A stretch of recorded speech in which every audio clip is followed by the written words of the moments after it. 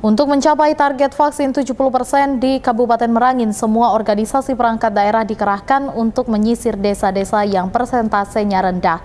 Hamin 3 2021, persentase vaksinasi di Merangin baru mencapai 68 persen. Pemerintah menargetkan setiap wilayah persentase vaksinasi COVID-19 harus di atas 70 persen di akhir tahun 2021. Namun hingga tiga hari sebelum berakhirnya tahun 2021, berdasarkan data dari Dinas Kesehatan Merangin, persentase tersebut baru mencapai 68 persen. Segala upaya dilakukan oleh pemerintah, mulai dari tidak ada hari libur bagi nakes sebagai petugas vaksin.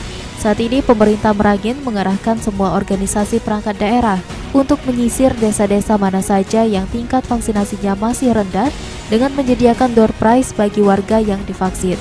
Pasalnya selama ini masih banyak warga yang enggan untuk divaksin.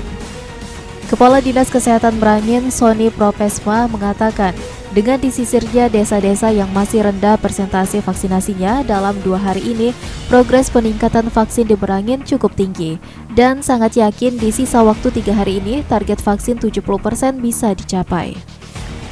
Oke, ditugaskan untuk menyisir Eh, kantong-kantong atau desa atau kelurahan yang target pencapaian vaksinnya masih rendah dan dari 23 OPD semua dikerahkan sampai ke desa-desa yang jauh sekalipun Alhamdulillah dari beberapa hari ini kelihatan progres cukup baik uh, terakhir kita sudah mencapai 68% yang mudah-mudahan hari ini besok dan lusa masih ada kesempatan kita untuk berbuat lebih banyak lagi dalam mengejar ketertinggalan vaksin yang harus kita capai 70%.